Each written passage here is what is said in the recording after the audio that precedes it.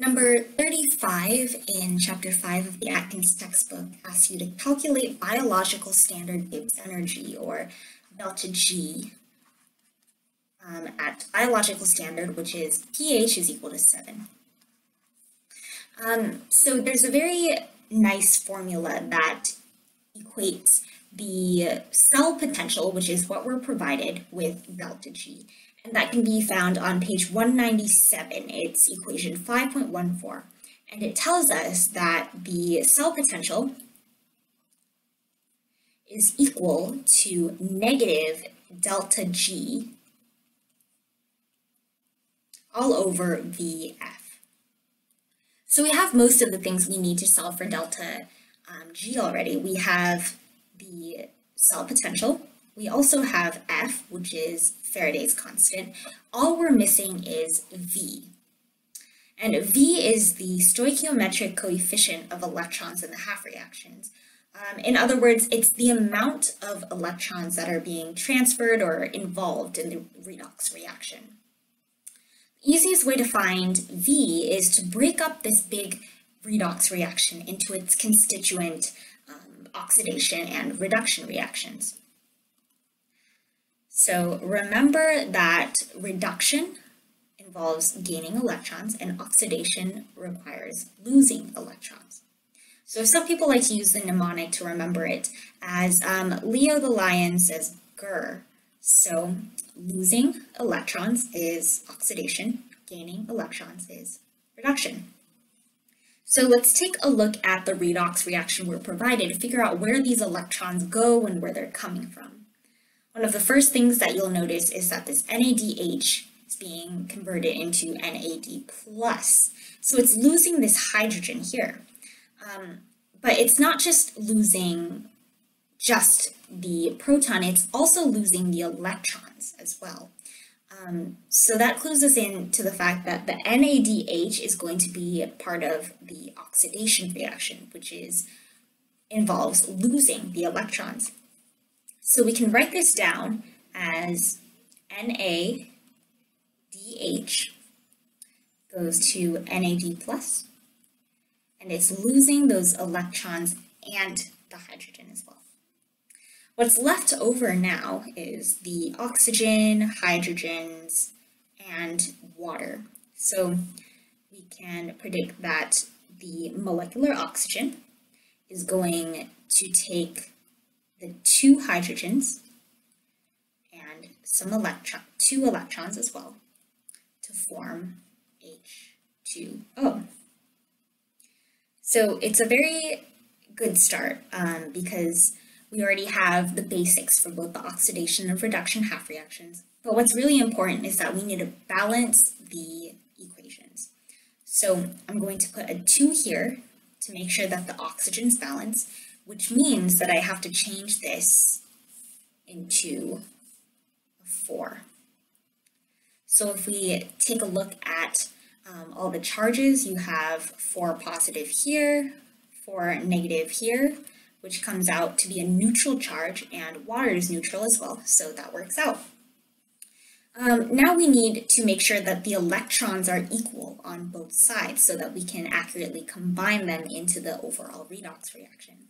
So because four electrons are right here, we also need four electrons to be in this equation. Um, so this changes coefficients of the NADH formula. Um, so it's going to require us to put a 2 here, 2 here, and a 2 here, because here we have 2 positive, 2 positive, 4 negative, and a neutral charge. So all the charges balance out. So here are our two half reactions. So we can determine what V is based off of the number of electrons, and it looks like it's going to be 4 electrons. So four electrons are involved or interchanged between the oxidation and reduction reactions. V is equal to 4. So lastly, we can put this all into the formula. Um, so the cell potential is 1.14 volts is equal to negative delta G over V, which is 4, and F, which is Faraday's constant, 96,485 coulombs per mole. Um, so we can make sure that the units cancel out by changing volts and coulombs into their S basic SI units.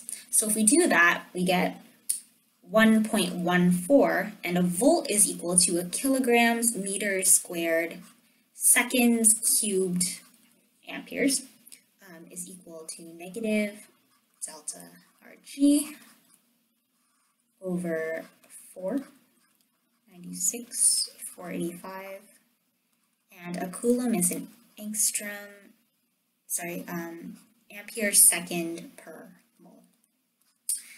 Um, and if we take a look at our calculation for G, we'll get that delta G the reaction at biological standard conditions is equal to 439,971.6 joules per mole, which is equal to 440 kilojoules per mole.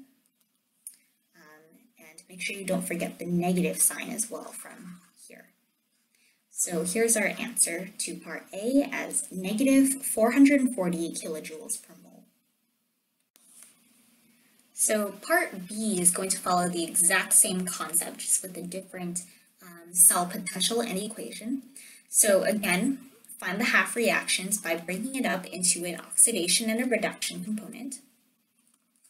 So this NAD plus component is very similar to what we did from um, part A. So NAD plus is going to gain a hydrogen. Um, and so when it's gaining a hydrogen, it's gaining both a proton and an electron. So we can write this um, into our reduction reaction as NAD plus plus hydrogen and an electron to make NADH. Um, and remember to balance the charges of the equation. So we're going to put a 2 here because there's 2 positive, and here there's 2 negative to make sure it's equal to the neutral form of NADH. So what's left over is um, the malate and the oxaloacetate, um, as well as the hydrogen. Um, so the chemical formula for malate is C4 H6O5, oxaloacetate is C4H4O5. And as you can see, there is a difference of two hydrogens between this malate and oxaloacetate.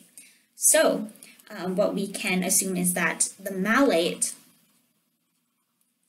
loses those two hydrogens and two electrons and there is the oxaloacetate left over. Um, and remember that these two are going to combine to be 2H, which is where the difference between the two H's comes from. Um, so here we have our two half reactions, and again we can find V um, by recognizing that two electrons are involved in this reaction. So V is equal to 2. Um, and like last time, we're just going to play it all into the formula. So E of the cell is negative 0.154 volts. Equal to negative delta G over V, which is 2, and Faraday's constant.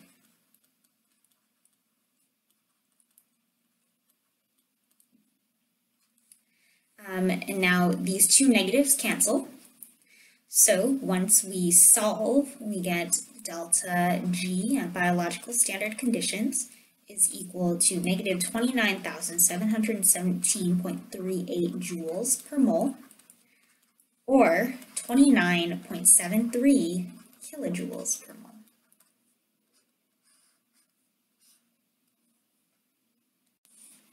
Lastly, part C is going to be the exact same thing, um, except this time we're not given the full redox reaction. We're just given the half reaction. And as you can see, oxygen is gaining electrons. So this is the reduction part, because there's a gain in electrons. Um, but that makes our job a lot easier to find V because we can just tell based off of this half reaction, which is already given to us, that V is going to be equal to 4. So, like always, we just plug it back into the formula. 0 0.81 volts is equal to negative G over 4, and then Faraday's constant.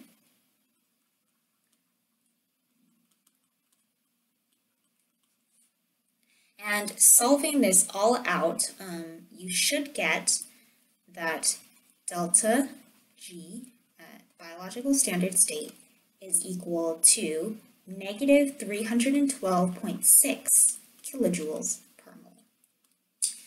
Um, one last thing to remark on this problem is that if you're ever unsure about whether or not your half reactions are correct, um, Atkins table 5.2 actually has some standard um, half reactions for common redox reactions, so that's a great way to verify.